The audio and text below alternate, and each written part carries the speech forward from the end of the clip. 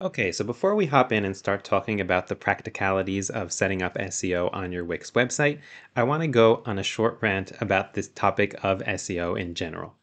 And that is because the SEO market now is flooded with people who will tell you various things about SEO, and some of them might be right and some of them might not.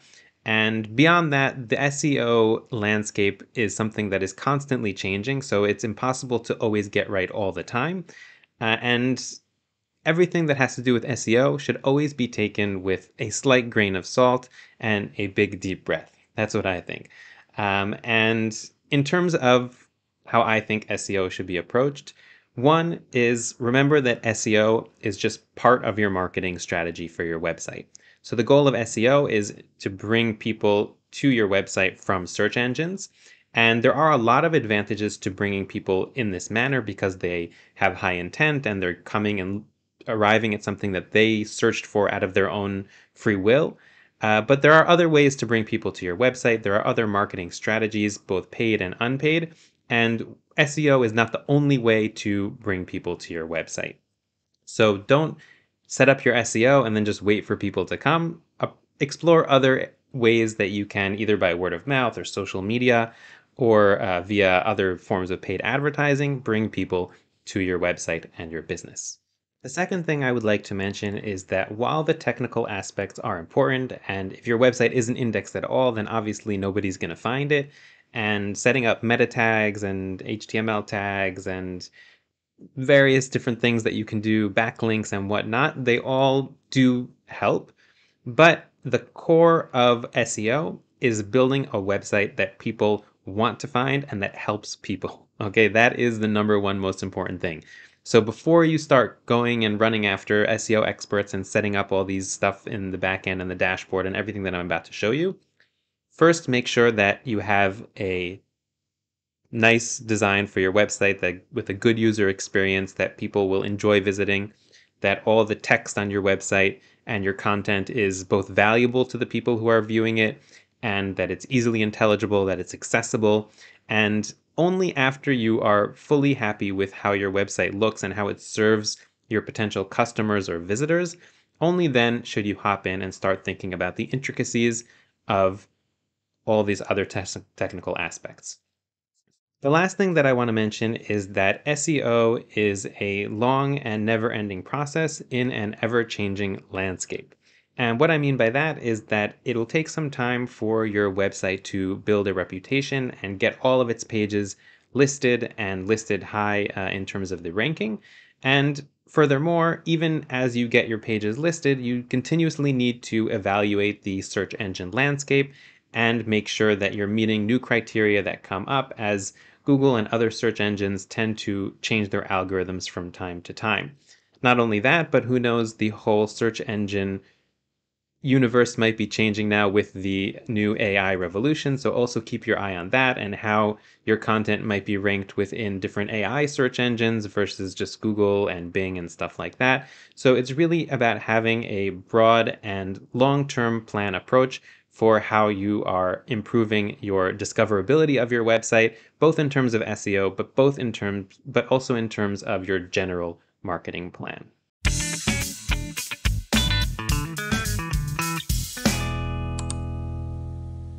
Now that I got that all off my chest, we are ready to hop in and start talking about the practical aspects of implementing SEO on your Wix website. And the first thing that I want to address is just the basic things that you can do as you are building the design of your website and setting up your website in the editor. So you can see here that I've added in a text element and an image element. And the first thing that you'll want to do is that you'll want to make sure that on every single page that you're setting up, you have one kind of large text that is your heading one. Okay, so if you take a look over here, you can see that this is a heading one, and you'll want to make sure that every page has one of those and only one of those. And that's because these heading ones have a specific HTML tag in them, which is the H1 tag. And the way that search engines prefer you have that set up is that there's only one H1 tag per page, and there is an H1 tag for every single page. So that is my first tip with regard to how you set up the elements on your page. The second thing has to do with images. And if you go into an image uh, in Wix and you go into the image settings, then you'll see that you have the option down over here to uh, describe what is in the image. Okay, what's in the image over here. And if I say that this is a woman holding flowers, I don't know if that's a very good description, but let's say that that's what it is, then this is what will be in what's called the image alt text. And that's something that search engines look for because it's very useful for uh, people who have disabilities and they might not be able to see what's in the image, but certain screen readers can read what's in that alt text. And that's why pages that with images that have that alt text get a certain preference. So I just want to show you what this, uh, what both of these things look like on your live site. So here I am uh, on my live Wix site that I've just published and hopefully will be ranked very high on Google soon. And you can see here we have the, the title that we had before and I added in a little bit of extra text and we have that image.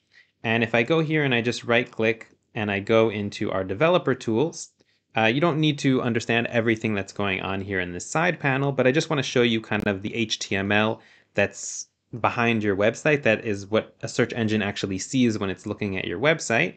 And if I go over here and I inspect, let's say this title right over here, then you can see that it has that H1 tag that I was talking about. Okay, and that's the tag that we want to have one of and not less and not more. Uh, and if I go ahead and I, for example, inspect this other text that I have here, let me click the inspecting tool and I'll inspect that right over there. You can see that this one has an H5 tag. Okay, so that's a tag that's not the H1, and that's because I set it to be heading 5 and not heading 1. Okay, and if I selected a paragraph, then it would have a tag that's P. Okay, so that's with regard to the H1 and how you can do that within the editor. And if we take a peek um, at the image, so I'm just going to select the image right over here, uh, then you'll be able to see, let's go over here and try and find that alt text. So here you can see alt, and you can see a woman holding flowers.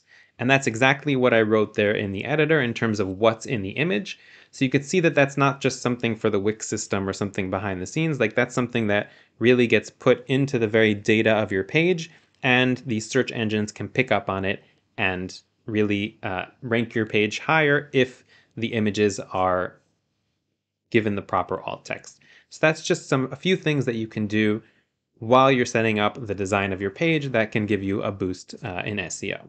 So once you've completed your page design, you're ready to head into the settings of the page. So if you just click right over here in pages and menu, and then within the menu, you go ahead and you look here for SEO basics. And you click that, then you'll have this panel over here where you can set up various things with regard to the uh, to the page on your site. And one thing that's missing over here right now, because this is the home page of my site, is the URL. So what I'm going to do is I'm going to go ahead and I'm going to add a new page to my site. Just call it a blank page. And done. Okay, so I've added a new page to my site. And now if I go into the settings over here, and I go here into SEO Basics and I scroll down, then you can see over here that I have this URL slug. And this is something that I see very often uh, in websites of people who might not have a lot of experience uh, building websites or building inside the Wix editor.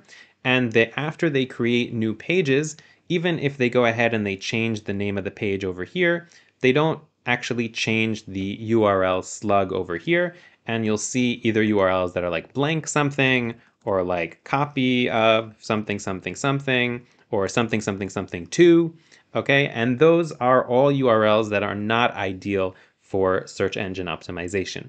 So you really want to try and think, okay, what is on this page? What do I want people to easily be able to understand about this page just from the URL? and call it that. So if this page is my new page and I want people to understand that, then I could call it, let's say, new page. Okay, if this is the login page, then I'll call it login. If this is my uh, properties page or my real estate page, I can call it real estate. Okay, so I really want the URL of the, the slug of the URL to be something significant that people will be able to understand.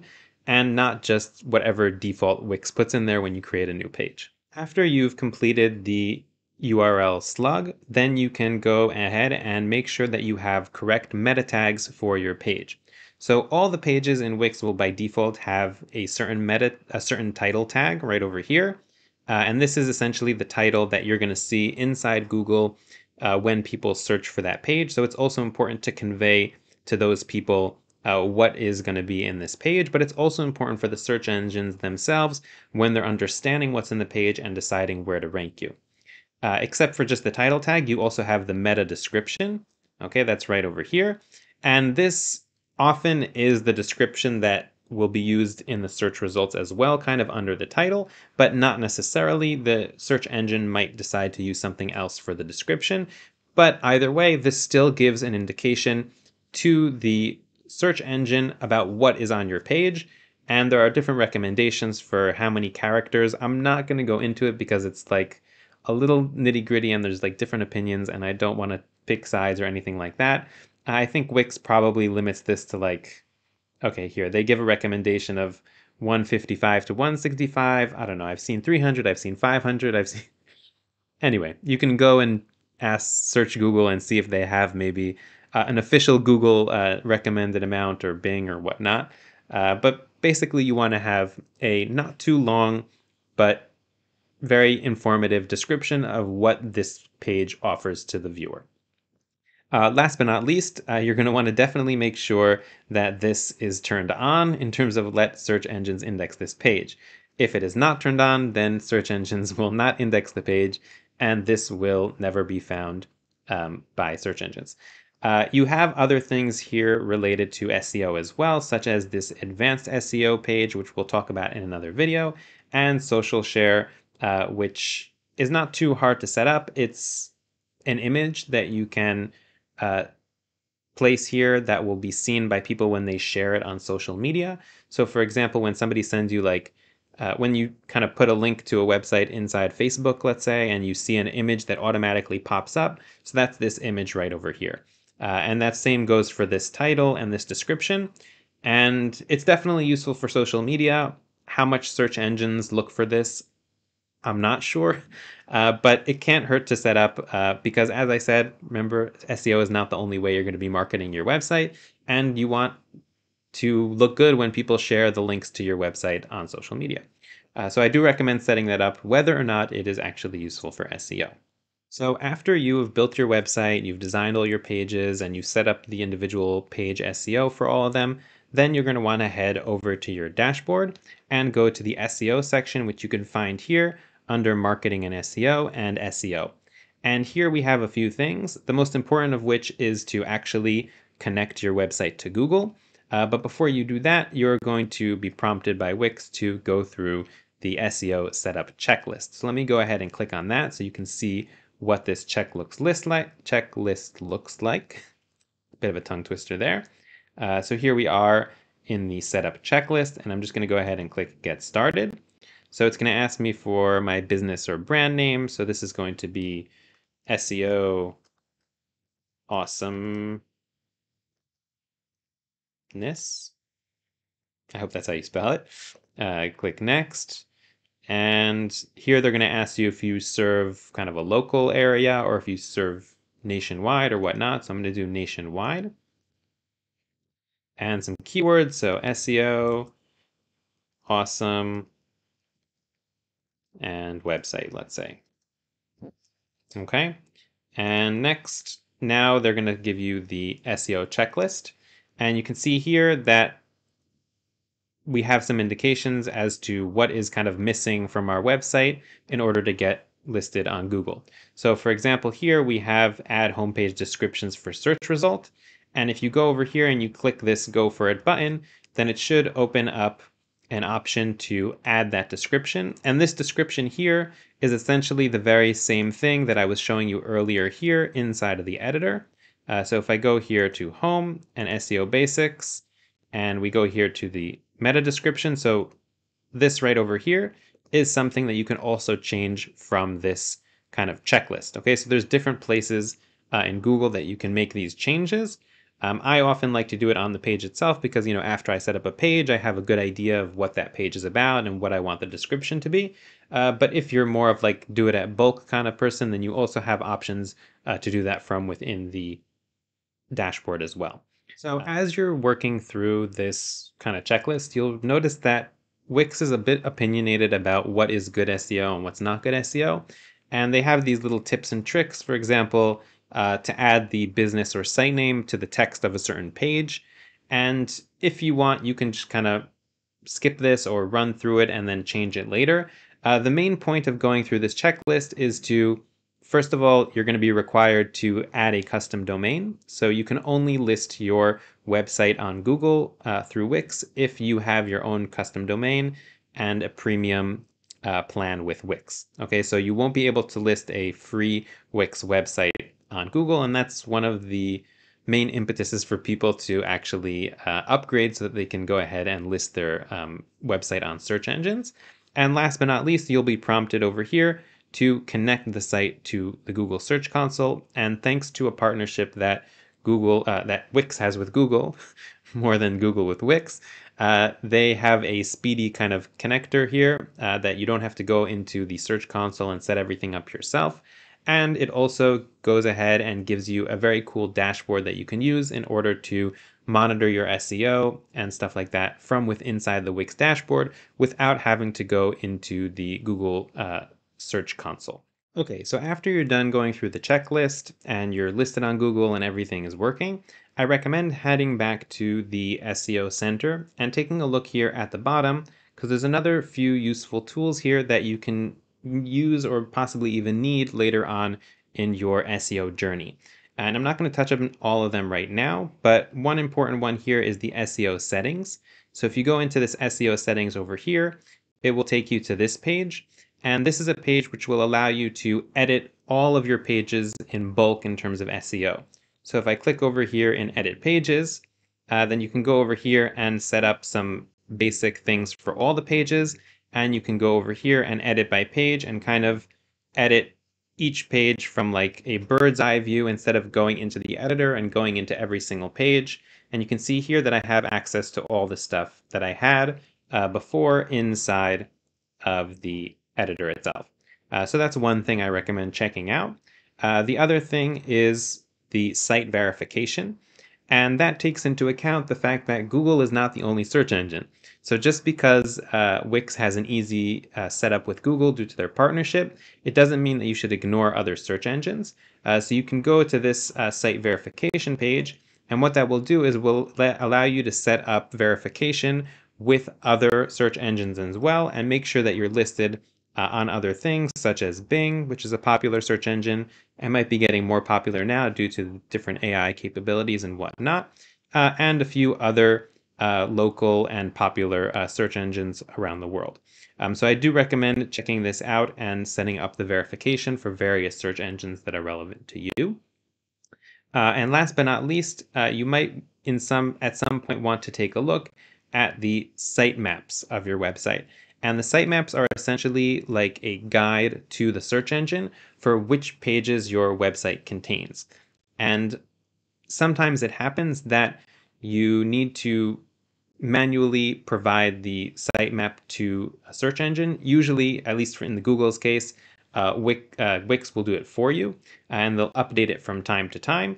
But you might need to kind of manually push in a new sitemap at some point if you're running into some issues with your SEO. And in order to get that sitemap and take a look at it and make sure that everything looks okay and it's updated, uh, then you can go over here to sitemaps. And once you open that up and you open your sitemap, this is kind of what it looks like. Uh, and it's written in something called XML. And this is really just a page on your website. So if you take a look over here, this is a URL of my site, and you can see that slash sitemap.xml. It's like essentially like a page on my website, uh, and you can navigate to it from any browser um, you know, it's on the internet.